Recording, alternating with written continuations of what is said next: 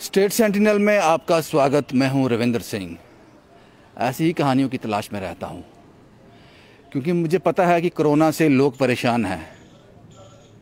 इस बीमारी से डरे हुए हैं और रोज़ जो नंबर आता है, जो अपनी ज़िंदगी की जंग हार गए बहुत बड़ा नंबर आता है रोज़ का। वो परेशान कर देता है।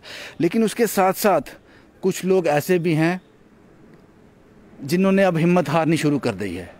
क्योंकि ये ऐसे लोग हैं जो सुबह घर से निकलते थे, कुछ कमाई करते थे, शाम को घर जाते थे, चूल्हा जलता था। वो चूल्हे ठंडे होने जा रहे हैं।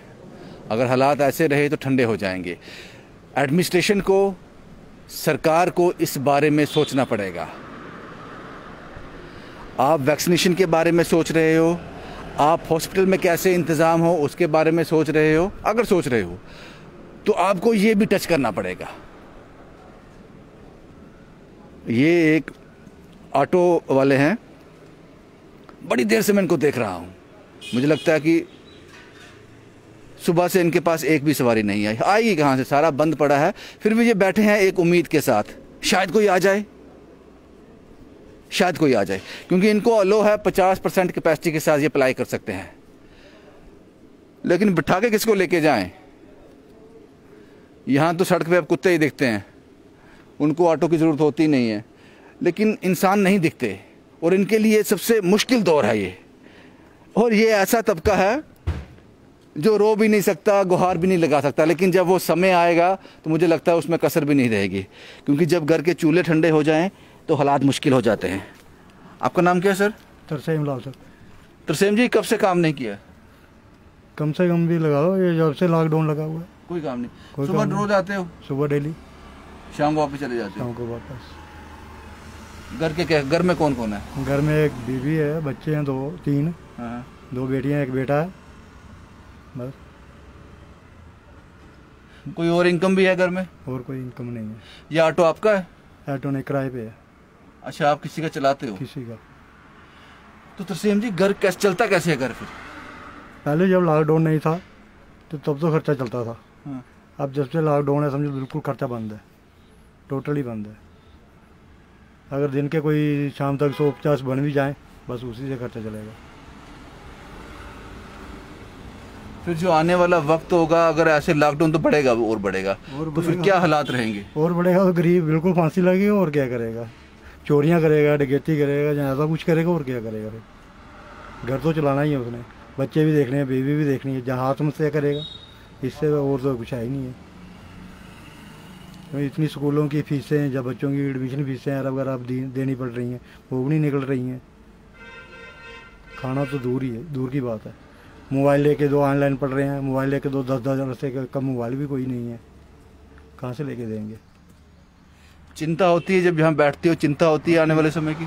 चिंता तो हो रही है। ये चिंता तो बिल्कुल हो रही है। घर वाले कुछ बोलते हैं कोई कहते हैं घर में घर वालों ने क्या है है? राशन खत्म हो रहा है। घर वालों ने यही बोलना जाओ बाहर निकलो काम करो कुछ करो। काम ही नहीं है बात तो क्या करेंगे? ऐसे घर से आ जाते हैं उनसे डर से और क्या है? आपके और साथी भी होंगे ऑटो वाले वो जो परेशान हैं? हाँ और भी हैं सब परेशानी है सब सब परेशान है। ड्राइवर क्या है मालिक क्या है सब परेशान है। क्यों मालिक भी अगर हम देंगे तो मालिक भी खर्चा चलाएगा। नहीं तो मालिक भी घर में बैठा है उसमें भी क्या करना हम लोग अगर कमा के दें मालिक को तो मालिक भी हमारे खर्चे से ही अपना खर्चा चलाएगा। अगर हम नहीं कुछ देंगे तो वो कहाँ से खर्चा अभी मालिक को कुछ दे रहे हो? अभी कुछ नहीं दे रहे सर। वो अच्छे इंसान हैं, उनको समझ हाँ आती अच्छे इंसान हम तो वैसे कुछ भी नहीं दे रहे हैं। क्यों दो महीने पिछली बार भी दो छः महीने बैठे थे घर में। हम्म, पिछली बार भी कुछ नहीं दिया बेचारे को। हम्म। थोड़ा सा बीच में खुला था तो फिर समझ लो कि जहाँ हम छः हज़ार देते थे बस समझ लो हाफ़ रेट कर दिए। तीन हज़ार कर दिए। गवर्नमेंट की तरफ़ से कुछ मिला अभी आपको? गवर्नमेंट की तरफ़ से अभी तक कुछ नहीं मिला। पिछली बार मिला था? पिछली बार भी कुछ नहीं मिला। कुछ भी नहीं मिला? कुछ भी नहीं बिल्कुल नहीं। टोटली कुछ नहीं मिला। लेकिन मुझे ये बताओ आने वाला वक्त चलेगा कैसे? जब एक बार घर में राशन भी खत्म हो जाएगा। आपकी इनकम यही है बस? इनकम यही है। फिर करोगे क्या फिर? फिर क्या करना? फिर घर में ही बैठना अगर इनकम नहीं है नए काम चले तो क्या करेंगे? स्कूल की फ़ीस वो तो देनी पड़ेगी। बाकी खर्चे तो हो रहे हैं। वो तो हो कोई रुका नहीं वो तो रुका कोई नहीं है। स्कूल की फीसें भी देनी है वर्दी भी बच्चे लेनी किताबें भी लेनी है। अभी तक तो वो भी नहीं ली। नहीं ली। नहीं ली। काम ही नहीं है तो कहाँ से लेंगे? पैसे नहीं पैसे नहीं है इतने। अरे हज़ार दो हज़ार हम खर्चेंगे भी तो मोबाइल लेके कहाँ से देंगे? मोबाइल के लिए पैसे नहीं होंगे। ऑनलाइन बच्चे कैसे पढ़ेंगे घर में? ऑनलाइन पढ़ाई हो रही है ना तो ऑनलाइन अगर मोबाइल के लिए भी पैसे नहीं है तो कहाँ से लेके देंगे? गरीब आदमी के पास एक या दो मोबाइल ही हो सकता वो भी नॉर्मल बड़ा मोबाइल कोई ऐसा नहीं हो सकता।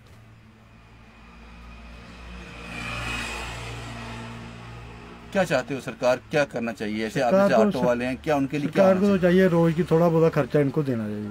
कम कम से कम ज़्यादा नहीं है तो दो तीन सौ रुपया रोज का खाते में होना चाहिए। दो सौ रुपया कम से कम तो होना चाहिए। दो सौ गरीब आदमी के लिए चूल्हा 200 ठंडा ना हो। तीन टाइम चूल्हा चलाना दो सौ रुपया नॉर्मल खर्चा आएगा नॉर्मल समझ लो कि जो सब्ज़ी लो तेल लो लून मिर्च लो जो भी है। ऐसा कुछ हुआ नहीं अभी तक? अभी तक कुछ नहीं हुआ। आते क्यों घर से? काम तो है नहीं। किस लिए आते क्या, क्या करें घर पे भी? तसल्ली देने के लिए आते हो? मन को शायद अपने मिल जाए। मान को थोड़ी शांति बाहर आके शांति मिलती है थोड़ा गप्पे शप्पे लगा के एक दूसरे से तो टाइम पास करके चले जाते हैं घर। सवारी अगर दिन की कोई आ भी गई कोई एक सौ पचास की तो वो भी खर्चा नहीं वो तेल खर्चा नहीं निकलेगा। अगर दिन की एक आधी कोई सवारी आ भी गई तो समझ लो इतना तेल ही डाल देना फिर। ये तो चलेगा तेल से ही। मुश्किलें होगी बहुत ज़्यादा मुश्किल तो बहुत है कोरोना खतरनाक है या ये जो घर में हालात बने हैं वो ज़्यादा खतरनाक है? फ़िलहाल तो इस वक्त तो घर में जो हालत है वही खतरनाक है। वो ज़्यादा खतरनाक है। खतरनाक है।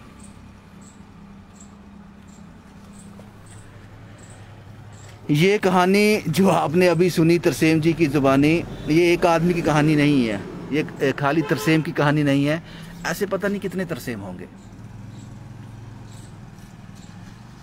ये वो लोग हैं जो विश्वास करते हैं कि हम मेहनत करेंगे।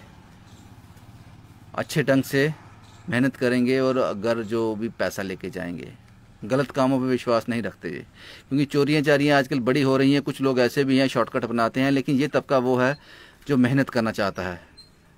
लेकिन मेहनत करें कैसे हम इसका कसूर सरकार को भी नहीं दे सकते, क्योंकि कोरोना चल रहा है, उन्होंने बंद रखा है, ये ये ये जस्टिफाई होता है। आपको ये करना पड़ेगा। लेकिन जनाब, सरकारें इसीलिए होती हैं, जब आपदा की घड़ी आती है तो आप लोग इनको वापस लौटा सको। मुझे लगता है कि आपको ज़्यादा नहीं, तरसेम जी ने कहा है कि 300 मुझे लगता है कि सौ डेढ़ सौ रुपया इन जो जितने भी हैं जितना भी लोग उसमें आते हैं जो रोज़ आते हैं कमाते हैं शाम को सौ डेढ़ सौ रुपया आपको डालना पड़ेगा ताकि ये आटा चावल नमक मिर्च ये डाल सके। क्योंकि पेट की आग जो है सब कुछ करा देती है फिर। फिर कानून ये वो वो सब चीज़ें मायने नहीं रखता जब घर में बच्चा भूखा हो। तो मुझे लगता है कि सरकारें इसीलिए होती हैं कि आप अपने लोगों को इस आपदा में, जब इस मुश्किल वक्त में आए तो आप उनके साथ खड़े हो जाओ।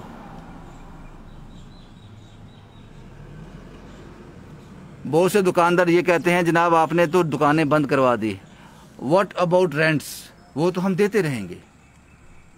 गाड़ियाँ बंद हैं मैडोर बंद हैं बसेस बंद हैं। बंद का मतलब ये नहीं, आपने खोला फिफ्टी परसेंट प्लाई के साथ, लेकिन बिठाएँगे इसको। जैसे कि मैंने पहले बताया कि सिटी में कुत्ते बड़े हैं, वो तो ट्रैवल करेंगे नहीं।